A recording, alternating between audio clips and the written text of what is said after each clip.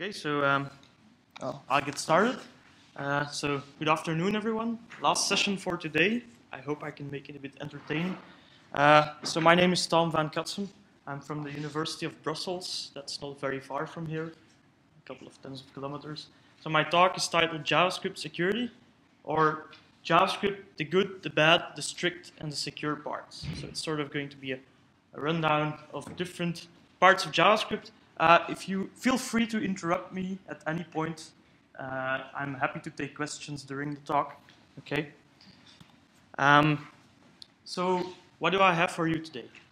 Um, my talk is comprised of four main parts. Uh, I'll start off by introducing JavaScript and the good and its bad parts. So I don't know how many people here have know JavaScript. Okay, so that's good that I will introduce JavaScript because it seems like some people are not familiar with the language. Um, second part of the, of the talk, I will talk about ECMAScript 5, which is the current JavaScript standard, and I will talk about uh, its support for strict mode. So this is a fairly recent thing added to JavaScript, and I'll take some time to explain what it's about. Part 3 is about a new feature upcoming ECMAScript 6, so that's the next standard of the language, called proxies that I've been working on. I'll give a bit of uh, detail about that. It's a useful tool to express security policies. And then the last part of the talk will be about Caja, which is a Google product uh, closely tied to secure ECMAScript. Yeah, it's a tool that you can use to safely embed third-party JavaScript on your uh, web pages. Um, I'd like to set the stage first and make sure that there are no false expectations here. So this talk is about the JavaScript language itself, and certain language dialects or certain language features that help you to enable or improve security. This talk is not about specific security exploits in JavaScript. Yeah? It's not about how you can do cross-site scripting attacks or how you should prevent cross-site scripting attacks. This is not that talk. Okay. Um, so why should you believe anything I have to say about JavaScript? Um, so uh, my daytime job is a professor of computer science at the University of Brussels. Uh, my main specialization is not in security, but more in programming languages and programming language design itself. I'm, I'm, uh, I'm on the ECMA TC39, that's the, the JavaScript standardization committee, let's say. And uh, back in 2010, uh, for some time, I was a visiting faculty at Google, at the Google Caja team, so I'm fairly familiar with their uh, technology. Uh, okay, so first part of the talk is going to be about the JavaScript language itself and what's good about this language and what's pretty bad about this language. Um, so probably you've already heard of JavaScript. Uh, you know it's the language that's uh, powering most of our web applications today. And uh, there's some sort of preconceptions about JavaScript. And uh, to sort of give you an idea of what typical preconceptions of JavaScript are, I'm going to show you a, a very short snippet of a uh, a lightning talk by Gary Bernhardt that he showed at CodeMash 20, 2012. You might have already seen this. It's pretty, it's pretty good. Okay, so. Let's talk about JavaScript. Does anyone know in JavaScript what array plus array is? Well, let me ask you this first. What should array plus array be? Empty array, I would also accept type error. Uh, that is not what array plus array is. Wrong. Wrong. Array plus array is empty string. Obviously, I think that's I think that's obvious to everyone. Uh, now, what, what, would array plus object be? This should obviously be type error because those are completely disparate types. Uh, does anyone know what this is? Uh, no. Close. No. Far away. It's object. right? Nicely done. Now, of course, because uh, this is plus, so you can flip the operands and the same thing comes out. So if we do, what? No, that's just an object. Uh, if you do object plus arrays, you get exactly the same thing, which, as you can see, you do. And finally, uh, the only one of these that's actually true is, uh, because, you know, you add arrays to empty string, that doesn't make sense. But an object plus an object is actually not a number so this one's actually right.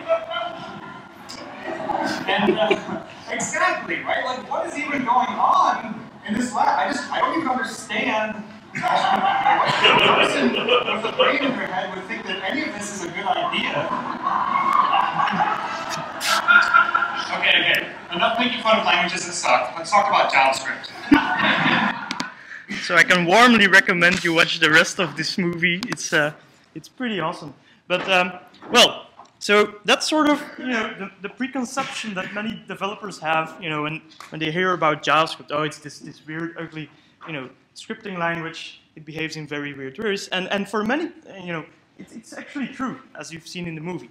However, uh, flash forward to 2009 when this book appeared on the scene. Uh, it's called JavaScript: The Good Parts, and it's written by Doug Crockford, Douglas Crockford, who at the time he wrote this, he was a senior JavaScript architect at uh, Yahoo. And what he did in that book, it's a very thin book, and uh, I recommend if you've, if you've never read a book on JavaScript, this is the book to read. I can warmly recommend it. And what he does in that book is he says, well, JavaScript is this awful language, but if you just stick to these particular parts, yeah, it's actually a pretty decent programming language. You just have to know what crap you need to avoid, okay? So what are these good parts that Crockford talks about, and what are the bad parts? I'll, I'll highlight a couple of those. Yeah.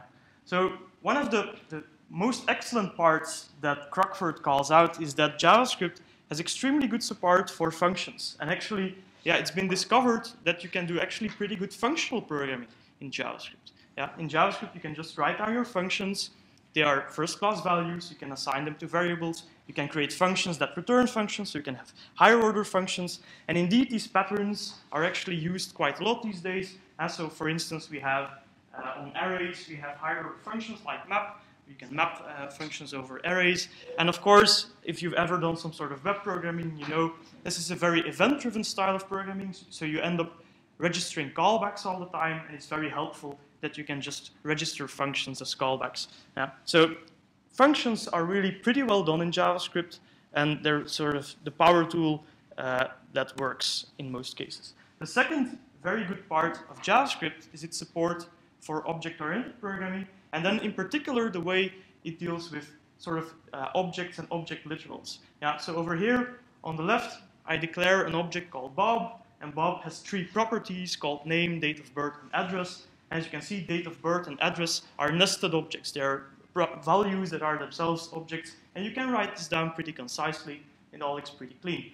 And as you can see on the right, you can actually combine objects with functions in clean ways. For instance, I create a function called makePoint. It takes an i and a j variable, and it, every time you call this function, it'll return to you a fresh object with three properties, x, y, and toString, x and y being just simple data properties, and toString being a method. Yeah. And then at the bottom, you can see that I call makePoint, I get a point object p, and then I can access the x property or call the toString method with very traditional syntax that you should probably all be familiar with if you've ever coded in C or in uh, Java. Yeah. Okay, so JavaScript is also this extremely dynamic language. Some people are heavily in favor of this, others are uh, more against this, but nevertheless, it's a dynamic language. What do I mean by that?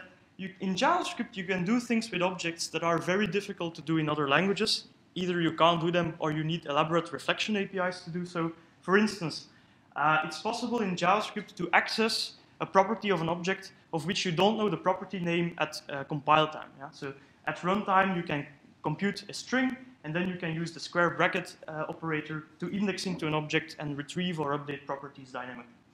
It's also possible in JavaScript to extract methods as functions from objects and then apply them explicitly. I'll go into more detail about that uh, later. Uh, so, so you can do dynamic method invocations. JavaScript even has a for-in loop, which is a statement that you can use to enumerate all the properties of an object. You can actually do something for every property in an object. In JavaScript, objects are actually flexible bags of properties, and you can actually add new properties at runtime to an object. Now, if I take the object obj, I can just add a new bar property by assigning some value to it. And it even has a delete operator that allows you to delete existing properties from objects. Yeah. So objects are really these flexible collections, these malleable collections that you can change at will. Now, okay, enough talking about the good parts. Let's see some of the, the bad parts. Uh, one of the worst parts of JavaScript uh, is that it doesn't have a module system. And so this means, for instance, on a web page, if you have multiple script tags, And the, the top script tag here is supposed to define some sort of library, uh, and it binds the public API of the library to an object, to a variable called lib. And the bottom uh, script uh, uses the library. So the way this linkage works in JavaScript is that the, the library actually has to declare a global variable. So lib in this case is global because it's not nested inside of any function. And global variables are just visible throughout your entire program, and that's why your, your bottom script can use the library. Uh, so this works to, to a certain extent, but notice I also declare this variable called x, and again, because the variable is declared at top level, it'll be global variable. And maybe x is some, some, something that the library needs, but is otherwise local to this library. Well, it's not going to be local to the library. Anyone will be able to see x. So JavaScript programmers have learned to deal with these, with, for instance, with this defect of the language. And a pattern that you'll often see, a common pattern, is if you, have, if you want to defi define a library, you wrap the library in a function and you apply the function immediately. So over here, I declare, I take the code that was in the library, I nest it inside of a function, and that function, I call it immediately. Yeah? I apply it immediately. So this seems stupid, right? I nest everything in a function, I just apply the function. What's the deal? Well, by nesting this varx statement inside of the function, the variable has now become local to just this library, and any other script on that page will not be able to see that variable. So you've successfully hidden that variable. And then the function will return an object that is going to be the public API of that library, and only the methods inside of that object will be visible to other scripts. Yeah. So that's one way that JavaScript developers have learned to deal with this. So lib is still a global variable, of course. But of course, these are like well-known global variable names that you use to refer to libraries. They don't at least refer to internals of a library. Okay, another awful part of JavaScript is uh, the with statement. Some of you may have heard of this. Uh, so JavaScript has a, uh, a with statement. It takes an expression that should evaluate to an object, and it takes a block of code, yeah, and inside that block of code, any identifier that is seen, yeah, how is the identifier interpreted? Well, inside of a with statement, if you see an x, you will look it up in the object that comes out of this expression. If that object defines an x property, that will be the value of our identifier. If the object doesn't define an x property, then we'll just look up x in the, in the lexical scope. Yeah. Now, the feature, well, it was designed with, with an express purpose and it served that purpose well, but in JavaScript this is a horribly broken feature because it now ties your lexical scoping to the, the object structure and objects are mutable. So over here I have an, an example that shows what this, this with statement can do to your code. So I declare a variable called x bound to 42 and an object obj bound to the empty object, just an empty object. And then I, I introduce a with statement with this particular object. I'm going to execute this code here. I'm going to print the value of x. Yeah. So what's going to happen, x is looked up in the object. The object is empty, so we just continue to look up outward and we find x equals 42. And we'll print 42. Yeah. But now notice in JavaScript you can just update property, uh, the properties of an object at will. So I will add a new property to the obj object. And now if I print the value of x, x will be bound to 24. So the same identifier in the same piece of code can mean different things depending on the structure of this object. So we've broken static scoping. JavaScript, just normal JavaScript does not have static scoping. This is terrible, okay? It, uh, it hampers the development of code, uh, if you try to reason about any sort of security in a language where you can't even know what the value of, of an identifier will be, well, that's not too good. Okay. So there are many more bad parts about JavaScript, and I won't get to all of them today. Let me just mention a few more, uh, particularly bad ones. Uh, variable hoisting. So in JavaScript, it looks to have the same syntax that C and Java has, so it seems to support block scoping. But in fact, in JavaScript, any variable that you define at the level of a block, like in the, in the middle of an if test, like in, a, in the then branch of an if test, will actually be global to the whole function. Uh, you think it's local to, the, to that block, it'll be global to the whole function. Uh, implicit type coercions, I don't have to, uh, well, uh, tell you about this anymore. This is all the crazy stuff that you saw in the movie. Yeah? So JavaScript operators like the plus operator, it tries to convert its operands to numbers. So if you try to add two numbers together with the plus operator, you better make sure that the values in there are numbers or you will get crazy results. Uh, something that not too many people know, JavaScript doesn't have integers. Yeah? Anytime you do computations in JavaScript, even though they look like integers, they're actually IEEE 754 double precision floating point numbers. Yeah? Uh, there's other stuff like syntactic stuff like JavaScript will try to be helpful and if you forgot a semicolon, sometimes JavaScript will try to insert a semicolon for you. Now this might actually change the semantics of your program if you're not careful. So these are sort of things that you have to learn to avoid uh, you depending on as a JavaScript developer because they can make your life uh, pretty hard. So that's enough talk about the good parts and the bad parts of the language.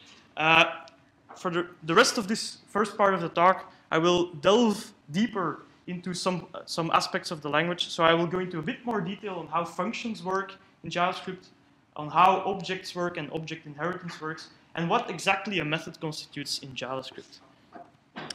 Okay, so functions in JavaScript are actually just objects.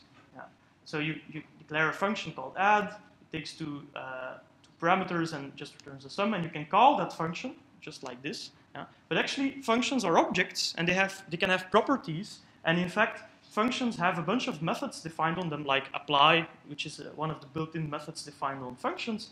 And uh, by calling apply, you can actually programmatically call a function where the arguments to the function are stored in an array. Uh, so you can compute the arguments to the function at runtime and then call it. Now there's this extra parameter here passed to the apply function, uh, which I bind to undefined in this case. What is that? Well, the first parameter to the apply uh, method is uh, the this binding of the function. So in, in, JavaScript, a function in its function body can refer to a special keyword called this. Yeah, so this function doesn't make use of that. And you can actually set the value of the this binding by passing an extra parameter to the apply uh, method. Now over here, since that function is not using the this value, I'm passing the undefined value, which is just a simple null value that you can, uh, yeah, that doesn't have any effect. Yeah, but so uh, calling the function like this or calling the function like this is more or less equivalent. Okay, so uh, objects in JavaScript uh, are simple in the sense that you don't need classes. So in JavaScript, you don't declare a class and then instantiate classes. You just declare the objects immediately. Yeah?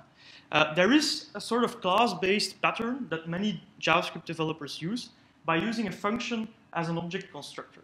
Uh, and so the way this works is probably best explained by means of an example. So, over, so I've previously shown you this make point function that you could use to, you know, every time you call the make point function, you got back a fresh point object. Here's another way to accomplish the same example. Uh, and probably the more standard uh, way, even though it's a, well, it's a pretty intricate pattern to use. So over here, I have a function called point, and notice the capital P. That's a convention in JavaScript. If you use a function as a constructor, you typically capitalize the first letter. It's not mandated by the language, just good style. Yeah. And the point object is going to initialize a new point instance. So the this binding inside of this function is supposed to point to a new, fresh allocated object. And we're going to just store in that new fresh allocated object an x and a y property. Yeah? And uh, every, so as I said before, uh, uh, functions, so the point function is actually an object, and there's a particular property of, of uh, function objects called prototype, yeah, that will host sort of, let's say, the shared state of all the objects. So over here, point.prototype points to a little object with a single property called toString, and toString is bound to a function that returns a string representation of the object. Now, if I call this function, and it, I precede the function call by the new keyword in JavaScript, so this looks very familiar to, to Java programmers, I guess, and that's also how you create new objects in Java. But in JavaScript, the way this works is completely different. If you call a function and you prefix the call with the new keyword, the function is called, and its this binding is set to a new, fresh, empty object, p, uh, an empty object, and what's special about that object is that it has a prototype link uh, called underscore underscore proto underscore underscore on some browsers. And that prototype link will point to this point.prototype uh, object. Yeah? And then by means of these assignments here, the x and the y properties will, be, will get added to my point object. Now, how does this, this, what does this prototype link mean? What does it do? Yeah. So if you access, if you try to, if you write p.x, yeah, and you try to look up the x property of the point, that's easy. We just look at the point, we see whether it has an x property, and we find it and return 1. What if we call the toString method on this point object? Well, we look for toString over here, and we don't find it. So the prototype link is actually then used to traverse, to go up, and we look for the toString function over here.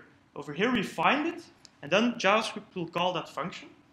And upon calling that function, it'll bind the this binding to the object that originally received the message. Uh, so the this value inside of the function will point to our little p object over here.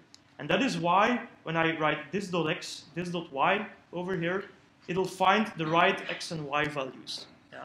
So this is how this whole sort of example is tied together. So you need functions as constructors, you need the prototype object to store the, the methods, the methods need to use this to refer to the instance state of the object.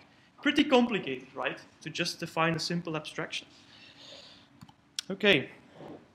So the third uh, aspect I'd like to go into a bit more detail on is uh, functions or methods. Yeah? So in JavaScript, what's the difference between a function and a method? There actually there is little difference. Uh, in JavaScript, methods are actually just functions that you declare on objects. And perhaps the best difference that I could come up with is if a function mentions the this keyword, then it's sort of supposed to be treated like a method. And if it doesn't mention the this keyword, it's supposed to be treated like a function. Um, so what I already told you on the last slide is that when a function is called as a method, the this keyword is bound to the receiver object. Yeah? So over here I have another example. I have an object obj, and it has two properties, offset and index. And index is a method. Why? Because it mentions this, uh, this value to get the value of the offset property, supposed to be done here, and then we add uh, x to it. So if I call this method like this with this syntax in JavaScript, what JavaScript will do is it'll look up obj.index, it'll find this function, and then it calls the function, binding this to the receiver object, obj, which is why this this.offset re returns 10, and 10 plus 0 is uh, 10. Okay, so that's why this method call returns 10. Now, in JavaScript, you can actually extract methods as objects uh, and, uh, sorry, you can extract methods as functions and use them standalone. So over here, I have the same obj object, and over here, what I do is I query the object for its index property, but I, I don't immediately call the method. Yeah? I just look it up. And so obj.index finds this, this index property, and it just returns this function without calling it. And I store this in a variable called indexf. And now I can actually do crazy stuff with this. I can take another object and then assign to its index property this function. Yeah? So you can just copy functions over from one object to another. That's all no problem. Now, something weird is going to go on if I try to call this function normally. Yeah? So just calling it, passing arguments, I will get an error. Why is that? Because in JavaScript, when you try to call this function, JavaScript has forgotten where the function came from and what object the function belonged to. JavaScript doesn't know. And JavaScript is trying to be helpful here, and it's, uh, so it says, what, what, value should I bind this to? I don't remember what object it came from. Well, I'll just bind this to the global object. Yeah? So that there's this global object in, in, in every JavaScript environment, and we'll just bind this to the global object. And what's going to happen then is, I, this method, when it's run with this bound to the global object, we query this.offset, now, assuming that offset doesn't exist on the global object, uh, let's hope that that's the case, then this dot offset returns undefined. That's another JavaScript quirk. In JavaScript, if you query an object for a property, and the object doesn't have that property, then the property lookup just returns undefined. It doesn't throw an error, so it just returns undefined. But then, because this thing returns undefined, when we then try to add a number to it, now we'll get an error because you can't add anything to undefined. Yeah. So that's why this blows up. So how can we make that, make that example still work eh, if we have extracted a method as a function and we still want that function to work normally? Well, we can use this apply function that I've introduced earlier and say, well, I want to call this function. Here are the arguments to the function. And you should use this particular object as its this value. And now, when I, when I apply this function, I will get back the same result. And things will work out as I, I had expected. Now, it turns out that these kinds of bugs occur surprisingly often in JavaScript, uh, up to the point that in ECMAScript 5, so the latest standard, they actually introduced a helper function called bind uh, to help you extract methods from, from objects and then still have them be usable, uh, callable as functions. So what's going on here? I look up the method in the object, so obj.index is just going to look, look up this function and return this function. And then bind is a new method defined on functions that takes an object and a function and returns a new function that remembers what object it should use as the value of its disbinding. And so indexf in this case is what is called a bound function. It's a function that remembers what object it came from. And when I call this, this function with the normal uh, method invocation syntax in JavaScript, so just calling this function, things will work out. And JavaScript will remember, ah, this index f, it's actually, I should use this object over here as uh, the value of this. And the example will work out again. Yeah? So hopefully this gives you some insight in how JavaScript's object model works. Okay, so to summarize this first part of the talk, um, there's this quote by, by again, by, by Doug Crockford saying that Java, JavaScript is a Lisp in C's clothing. What does he mean by that? Well, JavaScript from the outside to, to a normal developer yeah, who has learned C, who has learned Java, he looks at JavaScript and he says, oh, I know this language. You know, it's just like C, it's just like Java, it has these same statements. Uh, but he's, he's easily fooled. Yeah? Underneath the hood, JavaScript is actually much closer to functional languages like Lisp, yeah, and uh, it's much closer to those kinds of languages than it is to the C and Java style family, even though looks can be deceiving. Yeah. So Crockford in his little book uh, calls out the good parts of JavaScript, the things you can rely on, the things you can build large software systems on, and that's really those functions and so those object literals. That's really pretty good parts, uh, things that are well done, well worked out. There's bad parts in the language that, as a JavaScript developer, if you want to become experienced in the language, if you want to become productive in the language, then you have to know about these bad parts and you have to know how to avoid them. Yeah. So the use of global variables to link scripts, the lack of static scoping, var hoisting, and so on. You need to be aware of those things. Another thing that I've only mentioned implicitly is that there is no way to protect objects from modifications by clients in JavaScript. If I declare an object yeah, that's meant to be some sort of API. And now I want to pass out this object to some third-party library that I don't really trust. Yeah, I have no way of protecting my own objects from that third-party code. And the third-party code can just delete all the properties of this object, or it can override all the properties with its own malicious properties. Yeah? So there's no way you can use sh usefully share objects across trust boundaries without you knowing that the other guy is just going to completely destroy your objects. Yeah. So we're going to talk about how ECMAScript 5 solves that in a minute. Okay, so any questions about this first part of the talk before I proceed with the second part?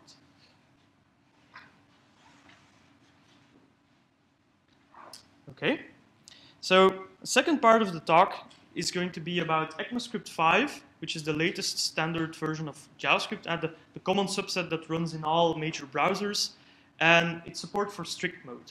Yeah. So ECMAScript is a bit of a funny name, but it's just the name for standard JavaScript. So JavaScript has been standardized since about 97. Yeah. Uh, and uh, since then, it has received two minor updates in, uh, in 98 and 99. And so ECMAScript 3 is sort of the standard JavaScript language that we've been using for about yeah, the last 10 years, let's say. Uh, there was work on a fourth edition, which was supposed to be a major update to the language. Uh, well, that project sort of got sidetracked. It went uh, eventually uh, went nowhere. And then in 2009, the fifth edition was released, and that's actually a very minor update to the third edition. It doesn't add really doesn't add a lot of features. It just consolidated all of the the extra non-standard stuff that had accumulated in in browsers since then.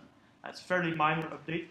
Uh, and then actually, so it was released in December 2009, I would say only in 2012 have we seen widespread support for the full ECMAScript 5 language in all major browsers. So actually today, uh, you can really start depending on ECMAScript 5 across all major browsers. But I think, like for instance, IE8 and so on uh, still don't have full support uh, for this. And then, uh, hopefully by the end of this year, we'll have the sixth edition, as it's already uh, uh, so work on that has already resumed quite far. There's a draft specification out there. Uh, and 6th edition is actually going to be a fairly major update.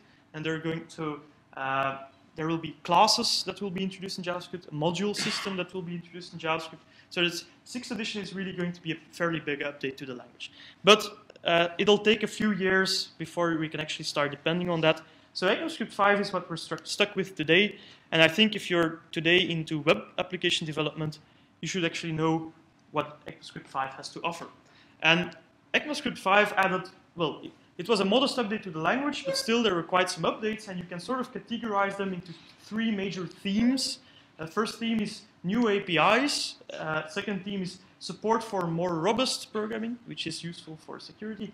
And a third theme was a better emulation of special objects called host objects. I'll get back to that in a minute. So first theme is new APIs that were added.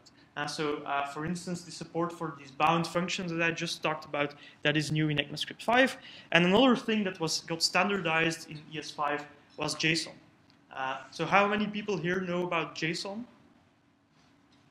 Okay, lots of people, good. So don't have to explain in a lot of detail, but so JSON stands for JavaScript Object Notation. It was invented by Doug Crockford, the same Doug Crockford that wrote this JS the Good Parts book. Uh, and so it's really sort of, it's sometimes called the fat-free alternative to XML because it does everything that XML does, only faster and more lightweight. Yeah. Uh, so over here is, for instance, a piece of JSON code. And as you can see, it sort of looks very similar to JavaScript. And that's not a coincidence uh, because JSON is a subset of JavaScript. It uses JavaScript numbers, strings, arrays, and the object notation without the methods. Yeah. So a JSON string is also a valid piece of JavaScript code. And, well, if you just want to be convinced about how simple JSON really is, I recommend that you visit json.org. And the formal syntax, the formal grammar of JSON literally fits in a margin. Uh, if you go to that webpage, the formal syntax is just in the margin of that webpage. I really like that. That's really beautiful. Okay, so before ECMAScript 5, you could either parse JSON quickly or you could parse it safely. Uh, the choice was up to you. Because what I mentioned, I, what I just mentioned, that J JSON is a subset of JavaScript. So what did, what, what did many developers do? In order to parse JSON, what did they do? They just took the string and called the eval operator. Yeah. So for those of you that don't know, eval is, an, is a function in JavaScript.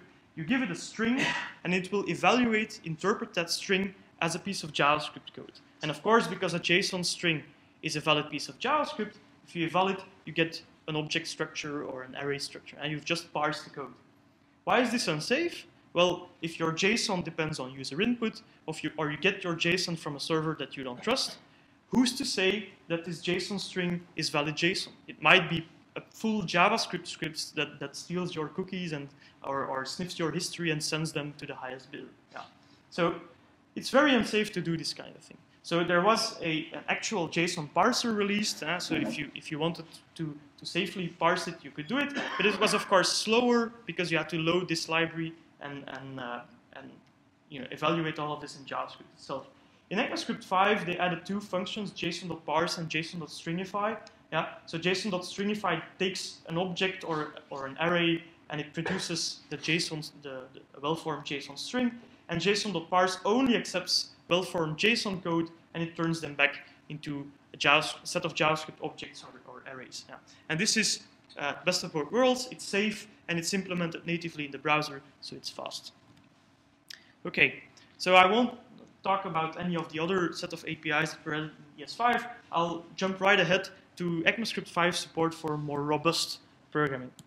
Um, so as I said previously, in JavaScript, you had, before ECMAScript 5, you had no way of or of protecting your own objects when you handed them out to third-party clients. And when you loaded uh, some library you don't trust and you pass them objects you created, the library can do with whatever it wants. ECMAScript 5 changed this with support for some extra new primitives that allow you to lock down an object. So over here I have an object called point. It's a very simple object with two properties. And over here I'm going to pass that point object to a new method called object.preventExtensions. Now, what does this, this method do? When you pass it an object, uh, this method marks the object as non-extensible. And from that point on, it's no longer possible to add new properties to that object. Yeah? When you try, when say point.z equals zero, this will fail. You can no longer add your own properties. Then there's a, another method called object.seal. Yeah? You give it an object, and object.seal does everything that object.prevent extension does, but it also marks all the individual properties so that you can't delete them anymore. Yeah, so if you've sealed an object, you cannot add properties to it anymore, and deleting existing properties will also fail. Ah, okay, good. That also gives us some confidence. Now there's a third primitive called object.freeze. Again, it takes an object, and it does everything that object.seal does, and in addition, it marks all properties as non-writable, so you can't even update them anymore.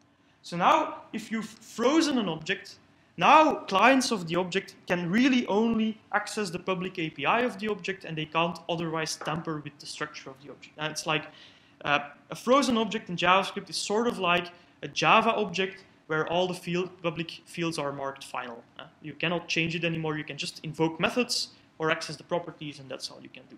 And now with frozen objects, you can actually safely share a frozen object with code you don't trust and, and, and be sure that the, the other objects can only call methods and don't mutate your object on the fly. That's, so that's pretty important. Okay, so then the, per, perhaps the biggest change coming in, in, in ECMAScript 5 is its support for strict mode. Not too many people know about this. Uh, but so today, uh, there is actually a safer subset of JavaScript that you can opt into. Yeah.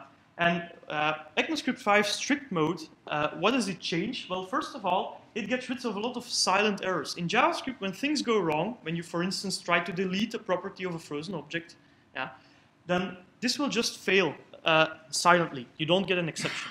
Yeah. In strict mode, you will get an, a runtime exception uh, that, that's alerting the developer that something has gone wrong. Uh, same thing, uh, so with um, the static scoping rules, in ECMAScript 5 strict mode, you have true static scoping. Yeah. Uh, so no more uh, with style games you can play with identifiers. You have proper static scoping.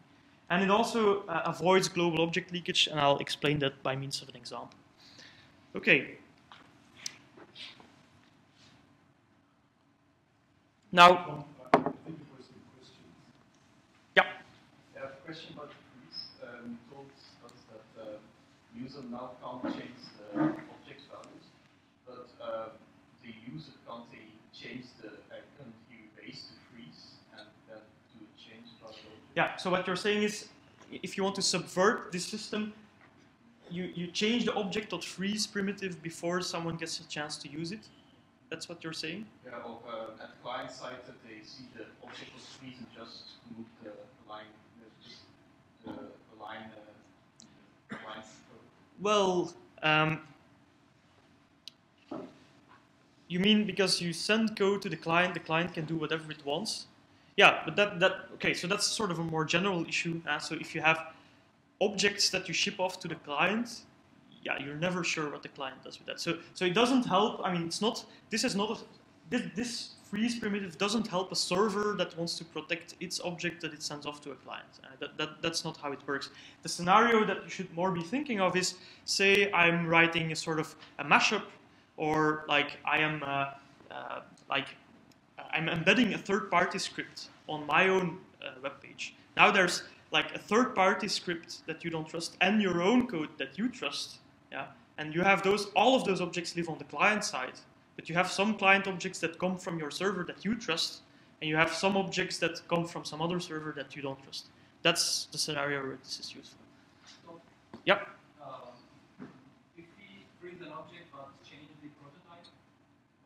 Yeah, so um, in JavaScript, so the way it's sort of currently specified is that, but it, well, it's not yet codified because uh, changing the prototype, well, first of all, changing the prototype of an object is a non-standard thing. So if you look at just purely ECMAScript, yeah, there is no, it doesn't provide any primitive to change the prototypes of objects. Yeah. So in the standard, it doesn't exist, the problem. If you go to, to, of course, to actual JavaScript, then on most browsers, not all browsers, on some browsers, you can actually update the prototype of an object. But even there, so, well, the goal at least is that on frozen objects, that should fail. Whether or not that's actually the case, it's hard to verify because this is all in non-standard zone. Yeah, so we're operating outside the standard here. Uh, in general, well, if you if you uh, I'll explain later when I come to Caja and SES how this all sort of ties into a larger framework. So the thing is, just freezing your objects won't give you security. Yeah? You need a larger framework like Caja that secures the whole environment. Uh, for instance, that also makes sure that if you call object.freeze, that it is the real object.freeze and not some, some uh, hack that the client, that some other library has installed. And so there's a bigger picture here, but I will come to that at the end of the talk. Can I ask you a question? Yeah, sure. What, what kind of real security does, uh, does object freezing and sealing give you? So it gives you, if you have multiple clients, uh, multiple scripts on the client that want to talk to each other, and you have properly configured those, so just programming it in ECMAScript 5 will not be enough. So you'll need something like secure ECMAScript, which I will get to later. Yeah? If you have such a setup, yeah, such a, if you're configured your page right, then you can safely share objects such that client, if you pass a frozen object to some third-party code, the third-party code can only invoke methods on that object, and it cannot otherwise tamper with the object or get inside of the object and steal some encapsulated data and so on. Uh, it can only call the public API, and it cannot get at other values that are protected behind that object. This is good for helping with mashups, basically. Yes, that's one, one use case. I, I, my conjecture is the threat model really, really is no, the benefits are almost negligible because if you're doing mashups, you basically have cross-site scripting by design, Yes. which is almost a complete compromise to client anyway. So, Well, that's, I, I, yeah. this is neat, but So, I don't buy I it. I because uh, often when you pass your object to a third-party library, then you worry what you're going to get back. I mean, when the, when the like, call returns, what's going to have happened to your object with, with something like freeze? You know that it hasn't go- it's not going to The, the point is, that this is only useful when you're in an environment where you have one script and you're allowing a third party like Google Analytics Yep. to execute on Yep. your page. Yep. And my, my conjecture is that at that point, you're allowing cross-site scripting by design and it's game over. And this is good for functionality or using a trusted third-party service, but so is, is that a fair point? Or? It's a, a very fair point because at this point I have not yet explained enough mechanism by which you can secure fully secure third-party code. When I get to Caja and secure ECMAScript, yeah, they provide additional mechanisms by which you can actually confine third-party scripts so that you really don't need to trust it and it won't be able to muck about with your cookies and so on. And Caja is the only mechanism I've seen that does that. Yeah. And then there's uh, uh, Crockford's AdSafe he's Right. working on. It's basically Yep. the same thing as Yeah, right. Well, it's, it's very similar, right? So yeah, so these kinds of things came up, for instance, with Yahoo and AdSafe. Why was AdSafe designed? Because they wanted to allow JavaScript-based advertisements on Yahoo property, and of course, you're not just going to load any old JavaScript code on your uh, Yahoo container page, uh, so you want to protect that. So that's the kind of thing where this comes up. Okay. All right. So, um,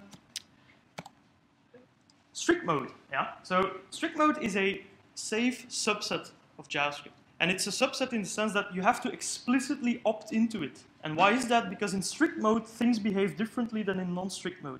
And in JavaScript, it's always this big problem of they can't really change the language too much because of backwards compatibility constraints, and no browser vendor is going to risk the fact that because they change their JavaScript engine, existing websites will break. So there's this huge backwards compatibility burden. And the way they, they sort of avoided this in ECMAScript uh, 5 is they, they wanted you to explicitly opt into the, the, the subset. How do you opt into the subset?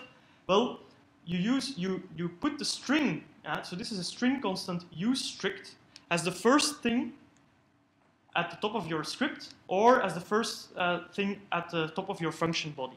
And this opts either your whole script tag uh, or just function body into strict mode. So all the code inside of that function body or inside of that script is going to then be in strict mode. Yeah? Um, and it's actually perfectly viable and perfectly normal for strict and non-strict functions to live inside of the same address space, and strict functions can call non-strict functions and otherwise, and that's all perfectly fine.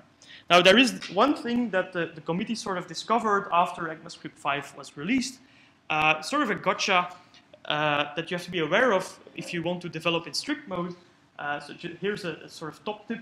Uh, there's this thing in JavaScript that many, many developers, when they develop JavaScript and they go on and deploy their scripts on the website, they will minify the JavaScript and sort of stripping out all the white space. And further on, they will concatenate multiple scripts. Why do they do that? If you don't concatenate your JavaScript code and you say you load 10 libraries, yeah, if you visit the web page, the browser will make 10 individual HTTP GET requests to fetch all of those libraries. So they just concatenate all the, all the JavaScript code into one big file. Now you need to just do one HTTP GET request.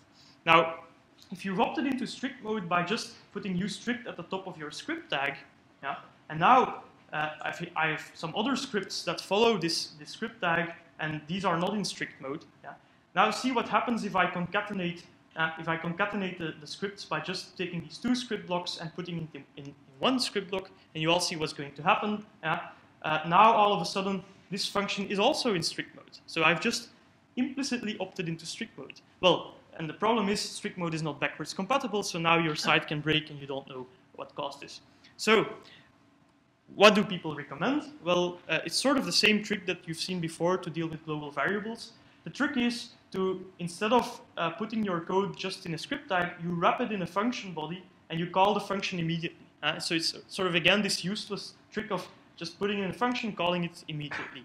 And uh, so what that does is, if you concatenate the two scripts now, now the use strict will only opt this function body into strict mode, and it will not affect yours. It's sort of like it's modularizing your strict mode opt-in. You have to be careful though, because this transformation of taking arbitrary JavaScript code and wrapping it in a function, uh, it might actually change the behavior of your program. For one thing, all the vars, yeah, if you had variable declarations here, they will no longer be global. They will be local to the function. Yeah. So these are things that you need to be uh, that you need to be aware of.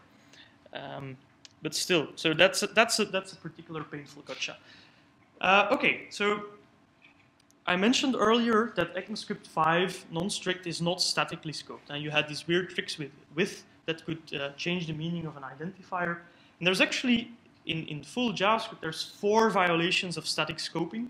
Uh, first of all, there's this particular nasty one where if you declare a variable inside of a function like xfoo with a, a low, lowercase foo, and now you assign to a variable with an uppercase foo, ah, just a little typo, JavaScript will try to be helpful again, and it'll just assign uh, xfoo to a new global variable. Yeah. So it just created a global variable out of thin air. Oh, great. Uh, so we have the with statement, I already explained that. Uh, there's the delete statement, which you can use to delete properties of, of objects, but you can actually also just delete variables. Yeah, it's totally crazy. You can just say delete x, and now the x variable is, is, is gone. And uh, even more crazy is that you can evaluate strings like var x equals 8, and this will introduce a new uh, a new variable called x in your, in your static scope. So the, all of these things, they mess about with your, your static scope, and you need to get rid of them if you want true static scoping.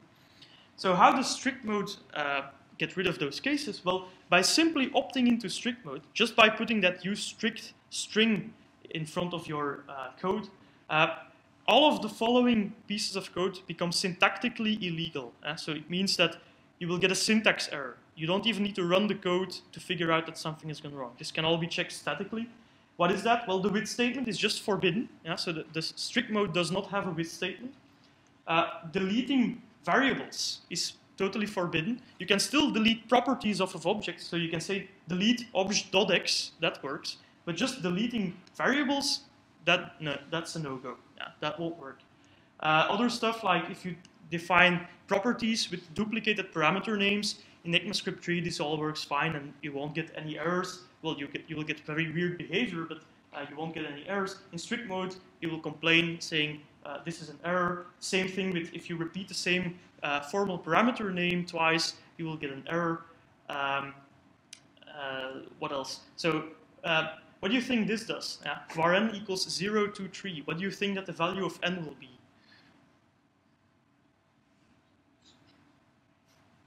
uh, it'll be 19. so many people would have the, the right expectation that n should be equal to 23. It'll be equal to 19 because it's an octal literal. Uh, this is sort of a rem remnant from the old C age. Uh, so in, in strict mode, you can't use octal literals because it's just too confusing. Uh, you also can't use eval as the name of a variable, also too confusing. Don't do that. Yeah. So strict mode is actually just all the things that are just plain insane in JavaScript, it gets rid of, which is good. Uh, so that's that's the, the, the, static stuff. There's also some runtime changes, and this is why opting into strict mode uh, it's, it's uh, it requires that you carefully test your existing code because it might change the behavior. Uh, so, for instance, uh, assigning to this unexisting variable, uh, the typo case, in normal JavaScript, this will create a new xfoo variable in the global scope. In strict mode, this will throw an error. Yeah, so that's the same alternative. It will throw an error. Uh, same thing if you try to delete properties from objects that you cannot delete, like I've frozen an object, that point is a frozen object, and I try to delete the X property. In JavaScript, this fails silently. In strict mode, you'll get an, a runtime exception. Okay. Uh, then this global object leakage, what's that about? So over here, I have my little point constructor function that I explained previously. And I call, when I call this point object with a new keyword, everything works out as expected. Everything uh, works fine. But it's an extremely common bug in JavaScript that you forget the new keyword and you just call the point constructor without the new keyword. So what do you think will happen? Well, in JavaScript, again, JavaScript calls this function and it doesn't know what this value to use, so it tries to be helpful and it, uh, it substitutes this for the global object. The global object is called window in, uh, in the browser. So when it executes this, this function body, it'll actually execute the, the statements window.x equals 1, window.y equals 2. Uh, and in doing so, you've actually created new global variables x and y. So now when I try to print the value of x, all of a sudden there's this new property called uh, x, which is bound to 1. Uh, this is clearly horrible. Uh, so if you just opt into strict mode, and you, we execute the same example, yeah, so if you use the new operator, things work out fine as, as before. But if we call the point object, uh, sorry, the point function without the new keyword, in strict mode, uh, JavaScript will say, well, I will not bind to this value to the global object, I will just bind to this value to undefined. And now, uh, when, when we execute this function body, we'll actually, actually execute, uh, when I say this.x equals x, we'll say undefined.x equals 1, and this fails immediately because you cannot add properties to undefined. So over here we get totally erratic behavior, and here we get a sane runtime exception. Yeah. So uh, one final change. Uh, this one is actually not dependent on strict mode. So this is this has changed both in strict and non-strict mode. In ECMAScript 5, ECMAScript distinguishes between using eval as an operator and eval using eval as a function. Uh, what's the difference? Over here, I use eval. I call it directly. And so if I declare a variable called x, a local variable called x, and then I say eval x equals 5, and then I ask what is the value of x, it'll say 5. Uh, because I've evaluated the string, and this string is evaluated in this local scope, so it sees this x value and it updates it. Now, if I start to do crazy stuff, like, for instance, bind eval to a function f, and then call the function f, so now it's no longer statically visible that I'm actually you know, evaluating this string. Uh, what JavaScript in ECMAScript 5 does is it will actually evaluate this string not in the local scope, but in some other scope, in a global scope. And now, uh, when I assign x to 5, it'll, it'll not touch my local x, and my local x is unaffected. Yeah, so that's some, a difference in using eval that's pretty important. And the reason why this is important is because we can now guarantee uh, uh, proper static scoping as long as you don't use eval inside of your function body. Okay, so the last uh, set of changes that happened in ECMAScript 5 was that they added better support for the emulation of host objects. Now, what are host objects? These are simply objects that are provided to JavaScript scripts by the host platform. And what is the most common host platform? It is the web browser. What are the most common host objects? That's the objects that comprise the DOM or document object model. Uh, this is this document and window. They give you access to this tree representation of the HTML page. And the, the, the funny thing about these, these objects is that they look and feel like normal JavaScript objects, but they're actually not implemented in JavaScript itself. They're actually typically implemented in C++, which is the language that browsers are implemented in these days. And because of this, they can actually have very weird behavior that you can never fake or never emulate with JavaScript objects themselves. And this is troublesome because it means that if a document object model has a bug, you cannot create a library that fixes the bug and uh, behaves the same way as the, the real document object model does. Now in ECMAScript 5, there is support added like accessor properties and property attributes. So I won't go into detail, just suffices to say that with those features, JavaScript developers now have much better ways of emulating the document object model in JavaScript itself. And ECMAScript 6, so the, the next standard version of the language, goes even further than this, uh, and it adds proxies which allow you to, to even better emulate these host objects. And that's going to be the subject of the third part of my talk. Are there any questions at this point for the second part?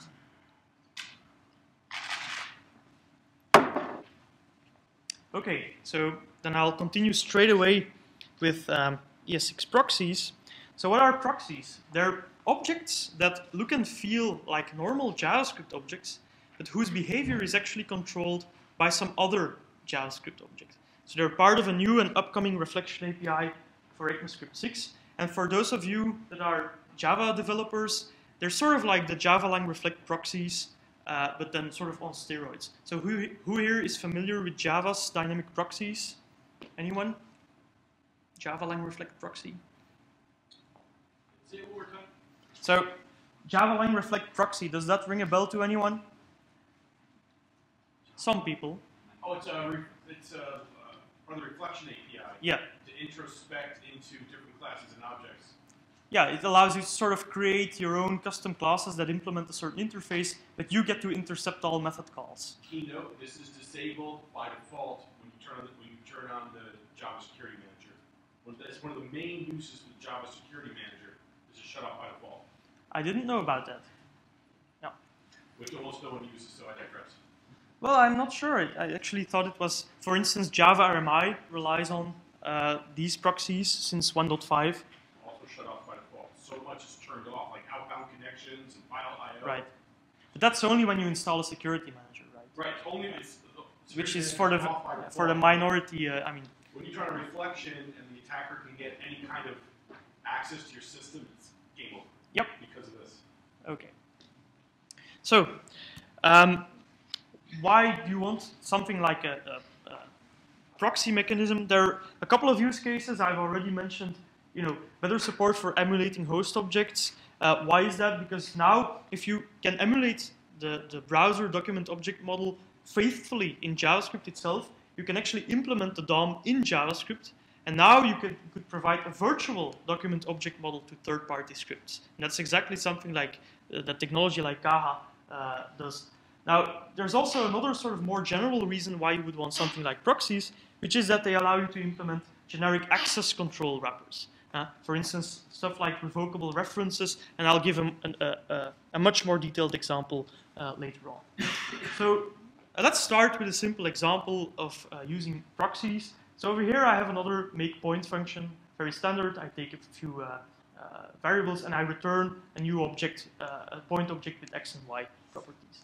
I call the make point function, I get back a point object. Now, the goal here is to create a trace here so that every time I do something via a trace point, it'll create a log of all the operations that were performed on the object. So I need to intercept all those operations.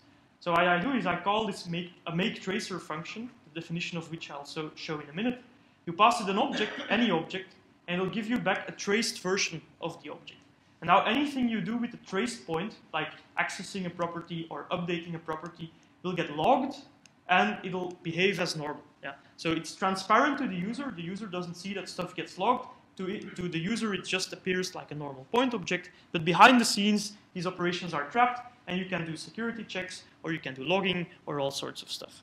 So the question is, how do you implement this make tracer function?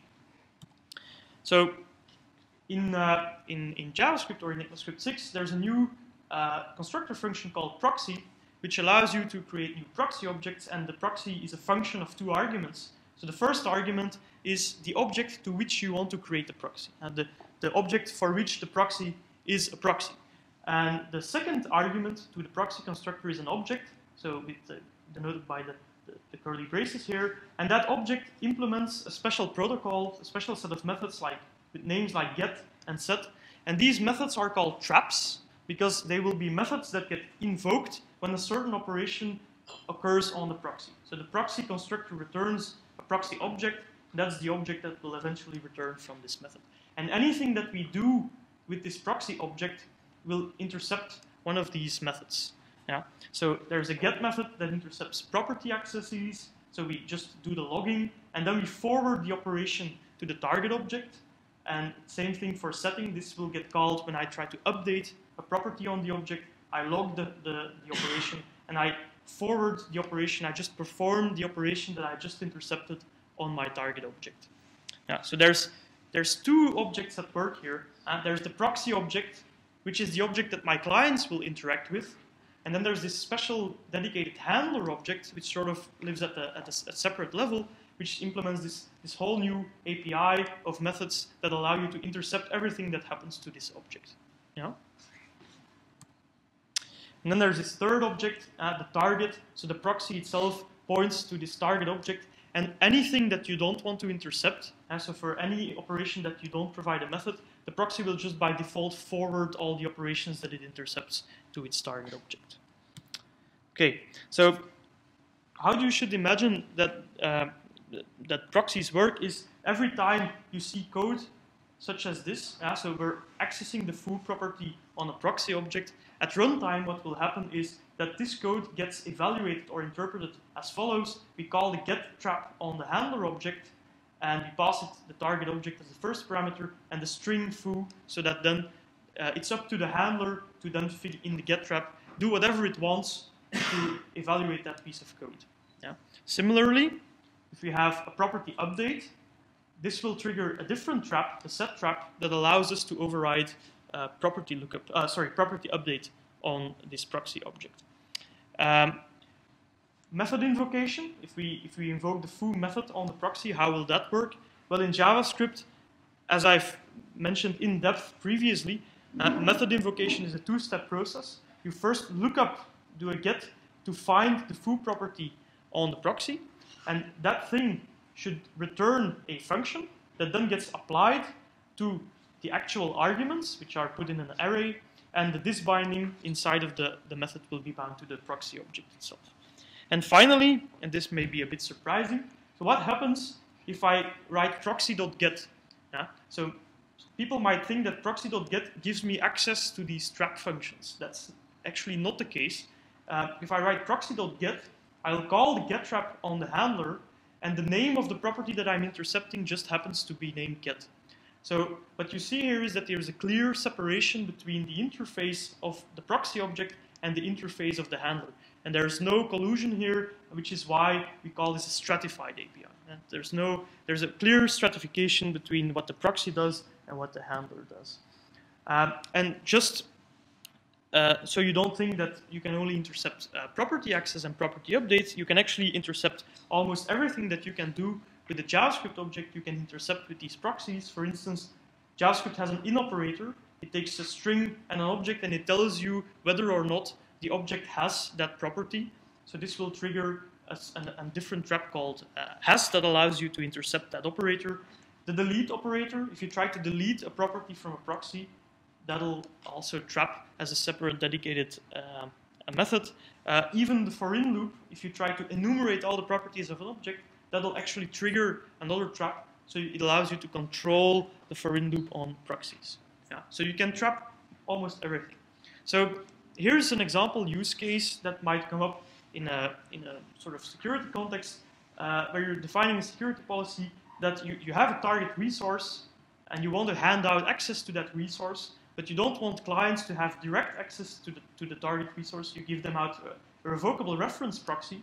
And uh, the goal being that at a certain point in time, when your client doesn't need the resource anymore, or when you deem that the client doesn't need the resource anymore, you revoke that reference, and now the client is left with a dangling pointer, and it cannot access the resource anymore. So over here is a piece of API code, uh, so how interacting with, with such a reference might look like. So we have our target resource. We call a function called make revocable, which gives us back a reference. And this reference is actually just a tuple of two things. We can, uh, from the reference, get at a proxy. So ref.proxy gives us this proxy object that we then can pass to client code. And because of the way this proxy mechanism works, the client doesn't actually know that it's handed a proxy. To the client, it's as if it's gotten access to the real target because everything it does to the proxy is just forwarded to the target transparently. Yeah. But then there's also this uh, revoke method defined on this reference. And when, when, when I, the creator of this revocable reference, uh, invoke this revoke method, the link between the proxy and the target is severed, and now every, everyone that only has a reference to the proxy can no longer access the target resource. Okay, so I have a little uh, small demo over here uh, that I can use to demonstrate this. Uh, so the way I've set up this little system here is, um, so I've got a piece of code that I've labeled as trusted. That's supposedly the code that created this, this, this page. Yeah. And uh, there's a piece of untrusted code that you've loaded from somewhere, and I've given it the ability to log to the console. Yeah. So let me just um, show the JavaScript console. Yeah. And now, whenever I press this, this button over here, uh, the code just logs uh, an ever-increasing number to the console. Yeah, very simple. It just shows that the code has access to the console. Now, my trusted code has a button here, revoke access to console. When I press that, yeah, it now has severed the link with this proxy, and now my client, whenever it still tries to access that, that uh, console, it'll get an error saying, uh, sorry, your access was revoked. Yeah. And uh, I'm not going to go into the full uh, source code over here, but just uh, to show you that uh, over here, so this is this make revocable function that was on my slide, and my third-party code, which I just you know model here as a simple function, takes this console as an argument and it uses the console just like it would use the real console. Yeah? So that's the gist of it. Yeah? To, the, to, the, to this third-party code, it doesn't know that it has only given, uh, given, been given temporary access to the console. And so over here at the bottom, I revoke access to the console, and that's what causes this, uh, this error behavior.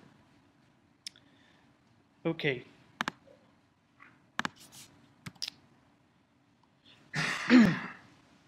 so uh, maybe I should explain the make revocable function uh, because it's such, such, such an easy function to explain. So uh, make revocable, you give it this target resource that you want to protect, and the function itself returns an object with two properties, proxy and revoke. Now, the function itself encapsulates a little local variable called enabled, which is set to true initially, meaning initially my revocable reference is active. And this re revoke function, all it does is set this enabled variable to false. Yeah? And the proxy object itself is one of these special proxy objects. It's a proxy for our target resource, and it overrides this, this get trap, so this intercepts method invocations, such that uh, uh, whenever uh, a property is looked up on the proxy, this function will get called. And what does the function do? It just says, well, if I'm enabled, then I will just uh, look up the property on the real object, and if I'm not enabled, then I'll just throw, throw an error. So this is the code that was responsible for the behavior that you just saw in, uh, in the demo. Um, so as I said before, uh, proxies are something that is going to be up and coming in the next version of, uh, of uh, JavaScript, in the next standard, but you already saw me using it in Chrome. Uh, so actually, uh, the good thing about proxies is that they are available in Firefox uh, by default, in Node.js if you pass a special command line parameter, and in Chrome if you enable an experimental flag in Chrome flags. Yeah, so they're still hidden behind an experimental flag. Uh, now, the, the libraries that you will find that shipped with browsers today, they are actually behind the standardization process. If you want to be absolutely sure that you're using the latest definition of the standard as it is currently in the draft ECMAScript 6 standard, I've created a little library called reflect.js. It's available for download on GitHub. If you download that script and you include it in your web page, then the script makes sure that your proxy API is up to date with the latest uh, ES6 uh, standard. Okay, so that's all I wanted to say about proxies. So now for the final part of my talk, which is about Caja and uh, secure ECMAScript.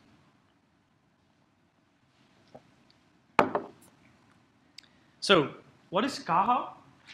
It's a Google product that basically enables you to safely embed third-party active content in your web page. Yep. Google open source project. Google open source project, indeed.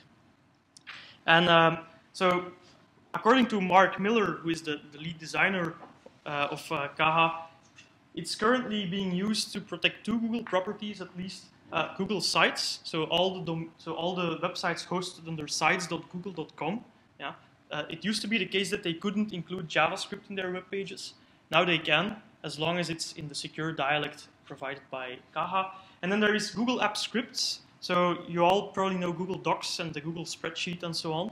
And uh, of course, there as well, and just like back in the days with Microsoft Office, that, that you could script your your uh, your Office op- uh, applications with VB script.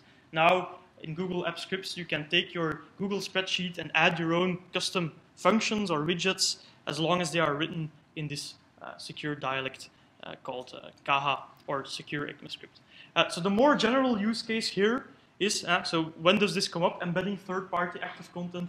If you have some sort of social site, you embed some sort of gadgets or widgets, um, and of course you don't want third-party code that is being loaded uh, by third parties to compromise the, the host page and the hosting page or compromise any of these other gadgets. Yeah. So you want to protect the host page and the other and each of the gadgets from the other ones.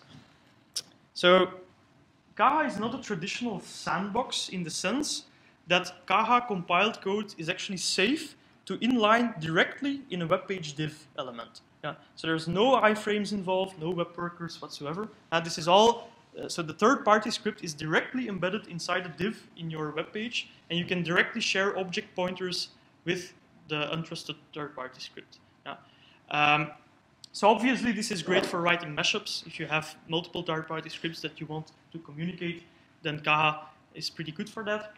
And it actually, Caja actually protects the host page from the embedded third-party content. So this embedded app can't redirect the host page to some phishing sites or steal cookies from the host page and so on. Yeah. Now, uh, so how does Caja do that? Uh, so when, when Caja loads third-party code, uh, it puts the code inside the div, and the code inside the div doesn't have direct access to the real document object model of the hosting page. It actually only has access to uh, what Caja calls defensive objects or tamed objects. They're actually a sort of proxy objects for the real document object model. And for instance, Caja can ensure that if, you if this third-party script renders things, yeah, that it renders only inside of its own div. And to the third-party script, it's as if it's talking to the real document object model, but it's actually talking to a fake document object model provided by Caja. Okay. Um, so I can maybe do a, a very brief uh, uh, tour of uh, the Caja apps, uh, uh, the Caja playground. So if you go to caja.appspot.com, there's a little play playground where you can play around uh, with Caja. So over here I have a piece of code. It's HTML code with embedded JavaScript scripts and embedded CSS. And um, so if I press Cajole here, uh, it renders the, the, code. So this is this clock is animated by a JavaScript script, uh, so it's active content. Uh, but you could embed this active content safely in your web page. Now, if I look at the output of the Caja compiler, I don't see anything because it's running in ES5 mode, and in ECMAScript 5, Caja can actually ensure that your code is compliant with the Caja system without having to do a source-to-source compilation of JavaScript. There's also a mode called ES5 over 3 uh, for older browsers that don't yet support ECMAScript 5. And if I enable that mode, and I then try to uh, uh, the, uh, the code, it's going to take quite a while longer uh, and that's because now it has to do a full source-to-source rewrite. So it took that, that source code that I showed earlier and it, it's rewrote it in a horrible uh, way, as you can see. Uh, it's much, much bigger code, much larger code, and it mangled all the symbols. And that's just to make sure that this JavaScript code obeys the rules of, uh, of the Caja uh, subsystem. Okay. So the big benefit is on ECMAScript 5 browsers, which is all the modern browsers, you don't need a full source-to-source -source translation, so it's much faster. And Caja actually consists of three things. Uh, so the first thing, and, and, the thing that I want to talk about a bit more, is uh, the secure JavaScript subset, so capability secure JavaScript subset called SES, Secure ECMAScript. So that's, that's one important part of it. The second part of it is called Domado, and Domado is a safe DOM wrapper. So this is this whole virtual document object model that you provide to third-party scripts. And then there's also an HTML and a CSS sanitizer, because if you have a full HTML script, uh, as you probably know, you can hide little JavaScript scripts in many places in HTML. Same thing for CSS. So the sanitizer needs to make sure that all the scripts embedded in an HTML or CSS style file are actually properly transformed and uh, conform to the, to, the, to the Caja subset. So SES is the portion of Caja that is responsible for securing JavaScript. And yeah, so Mark Miller is currently actually pushing secure ECMAScript as a sort of independent standard, independent of the Caja, uh, the Caja system as a whole. Um, so we have this looking back, we sort of, uh, in order to achieve uh, any form of security at the client side in JavaScript, a lot of things had to be added. Yeah? So starting from ECMAScript 3, which is the, the platform that browsers have been supporting since many years now, ECMAScript 5 adds support for tamper-proof objects, that is object.freeze. Yeah? That's the thing you need to be able to safely share objects across trust boundaries. Then there's ECMAScript 5 strict mode, which adds proper support for static scoping to your language, which you need to actually properly encapsulate variables in uh, lexical scope. Yeah. So secure ECMAScript is actually a library defined on top of ECMAScript 5 strict mode, and it further adds support for confinement, meaning that if you load third-party code, you don't want that third-party code to just be able to have all the power of your own code. You want it to confine itself to just its own div element. Um, so SES is a library that, that's implemented on top of ECMAScript 5 strict. If you're only interested in SES and not in the full Caja system, there's this particular script called start SES, which you can include in your web page.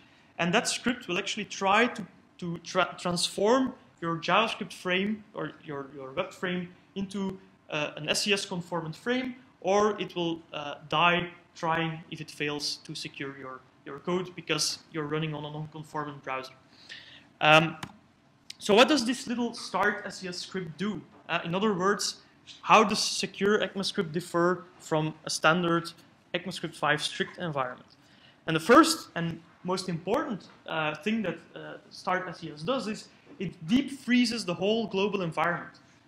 Uh, so in JavaScript, when a script loads, it has access to many objects by default, like object, array, function, math, JSON. So there's many objects that you can just use as a JavaScript script. Now, by default, all of these objects are mutable. Yeah? So that means if, if, if you load third-party code, the first thing that third-party code might do is totally screw up all of those global properties. It might totally poison them with its own properties. And that's coming also back to your question. What stops a third-party script from redefining object.freeze so that it doesn't do what you think it does? Well, Secure ECMAScript uh, guards against that by just freezing that whole global environment. So it all becomes immutable. Yeah? So third-party code cannot change that, that, that environment anymore.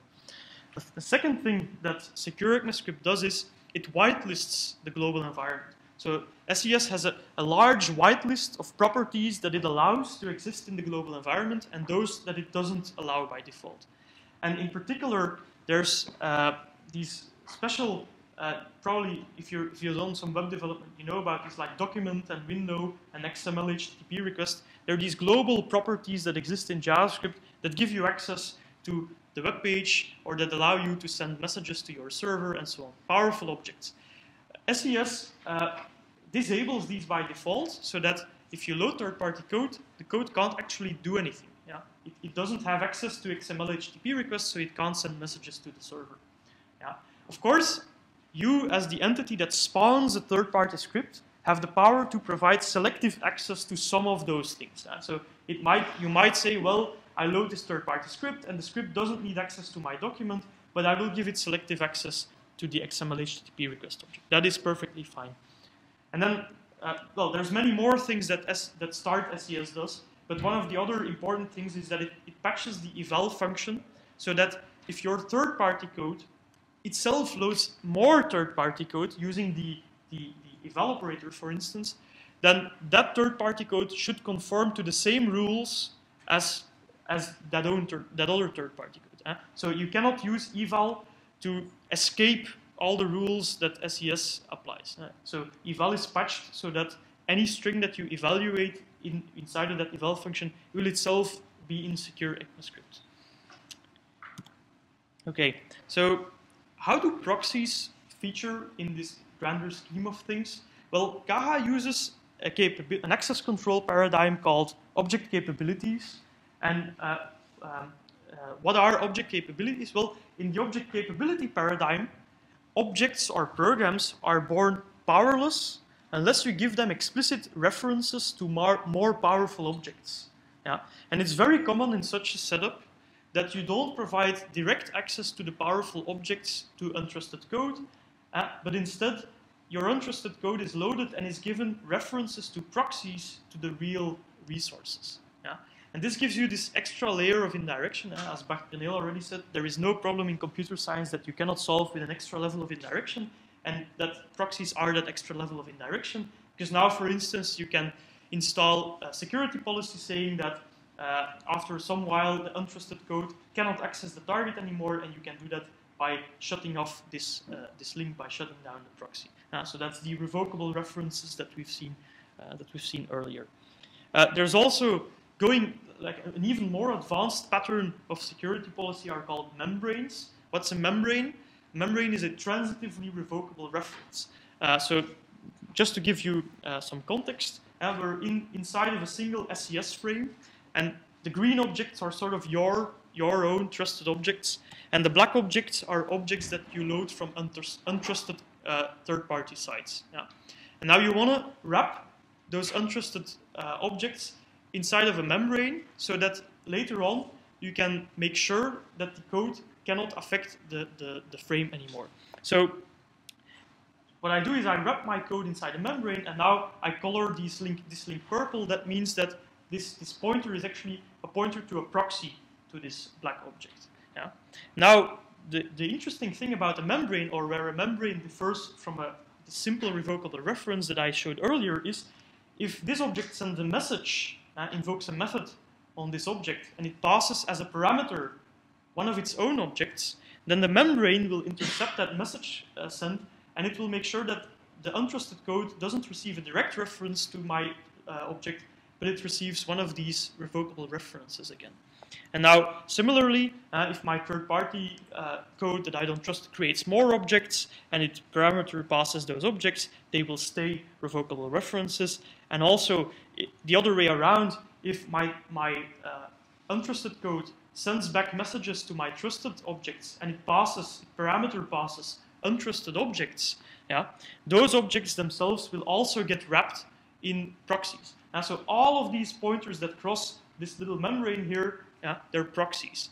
And with a single stroke, with a single, by just saying revoke or close the membrane, yeah, if I do that, what, what the effect will be is that all the pointers, all the proxies uh, that cross the, the membrane will get disabled, as I've shown you in the demo previously. And in one stroke, what has happened is I've completely segregated this subset of uh, this subgraph of objects that I don't trust even in such a way that the garbage collector knows that there are no more pointers in or out, and the garbage collector can just reclaim my uh, untrusted third-party code, and I can be sure that my third-party code cannot influence the host page anymore. Yeah. So that's an example of an advanced uh, policy that you can express with uh, proxies. Okay, so it's about time for me to wrap up. And uh, so just to summarize my, my talk a bit, so I've talked about JavaScript, the good, the bad, the strict, and the secure parts. Uh, so I've started with ECMAScript 3, sort of the standard plain vanilla JavaScript, which this book is about. Uh, and I've talked to you about some of the features that are really good about JavaScript and some of the features that, that you should avoid. Then there's ECMAScript 5 and ECMAScript 5 strict mode, which are fairly recent. I've talked about some of the new, the latest additions that you can rely on uh, today. And finally, I've ended with secure ECMAScript, which is this library on top of ES5 strict, which really allows you to embed third-party active content safely on your web page. Now, it's been a long talk, but what are the few key take-home messages that I want you uh, to, uh, to take home from this talk? Well, the first is that Secure ECMAScript uh, understand that this SES builds on top of ECMAScript 5 strict. That means if you want your code to work together with these tools, or if you want your code to be securable, then opt your code into strict mode. Yeah? So it's not only for security purposes that you should do this.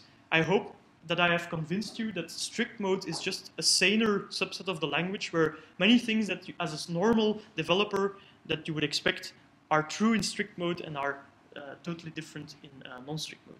And then the whole, this whole idea behind these proxies is that they are sort of like a power tool that allow you uh, to express fine-grained security policies such as these revocable references or these membranes. Uh, once you have such a secure container installed, such a secure ECMAScript frame, then you can start using proxies to express fine-grained security policies. Um, so I'm just going to end with some references, uh, also things that I've used to construct this talk. Uh, so there's, again, the book by Doug Crockford. Again, if there is a single book that you, that that you should read about JavaScript, then it's this one. It's very thin. You can probably read it in an afternoon. Uh, Crockford also has um, a couple of YouTube uh, talks, and there's a, a, link to a playlist here uh, of uh, a number of lectures where he, he, talks about all of this stuff. It's uh, very warmly recommended. And then there's also uh, so some references to other talks by people on, on ECMAScript 5, Caja, SES proxies, or if you're really interested in the, the very latest developments on ECMAScript uh, 6. And so with that, uh, the talk is finished, and thanks a lot for your attention.